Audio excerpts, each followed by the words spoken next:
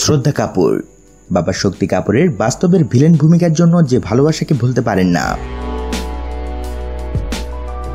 সবাইকে গল্প কথা ইউটিউব চ্যানেলে স্বাগতম। আমাদের চ্যানেলে সাবস্ক্রাইব করেছেন কি? বলিউডের অজানা সব নিউজ আপডেট পেতে সাবস্ক্রাইব লেখার ওপর ও বেল বাটনে প্রেস করুন। হৃদয় ভাঙা করার খেলা বলিউডে চলতে থাকে। কিন্তু এই প্রেম ছিল বোধহয় গভীরে। তাই বলিউড তারকা শ্রদ্ধা কাপুর আজও ভুলতে পারেননি তার ভালোবাসাকে। বললেন, হৃদয় ভাঙলে সবচেয়ে বেশি কষ্ট হয়। সম্প্রতি মুক্তি পেয়েছে শ্রদ্ধা কাপুর আর রাজকুমার রাও অভিনীত স্ত্রী ছবির ট্রেলার।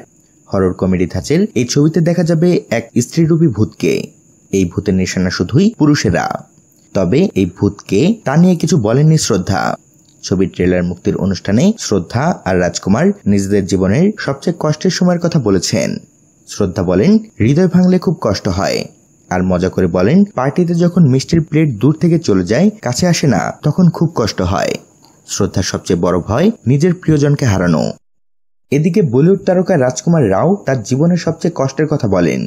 তিনি বলেন, মাকে হারানো আমার জন্য সবচেয়ে কষ্টকর ছিল। তিনি আরও বলেন, স্ত্রী ছবির শুটিং এর অবসরে আমরা ক্রিকেট খেলতাম। একদিন খেলায় আমি রান আউট হয়ে যাই। তখন খুব কষ্ট পেয়েছিলাম। আগে ভারতীয় দলের যখন খেলা হয়, তখন আমার চোখ থাকতো সচিন টেন্ডুলকারের দিকে। সচিন সেঞ্চুরির আগে আউট হয়ে গেলে ভীষণ কষ্ট পেতাম। এদিন শ্রদ্ধা প্রকাশ্যে নিজের হৃদয় ভাঙার কথা স্বীকার করেছেন।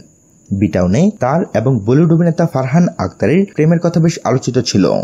রকন টু ছবির সেট থেকে তাদের প্রেম শুরু।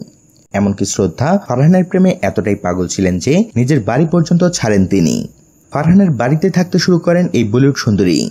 তবে ফারহান শ্রদ্ধার প্রেমের সফর মাঝপথে থেমে যায়। শোনা যায়, বাস্তবেও নাকি শক্তি কাপুর ভিলেনের ভূমিকায় অবতীর্ণ হন। ফারহানের বাড়ি থেকে শ্রদ্ধাকে নিয়ে চলে আসেন তিনি। সেই কষ্টের কথা আজও ভুলতে পারেননি শ্রদ্ধা। আর তারই ইঙ্গিত দেন।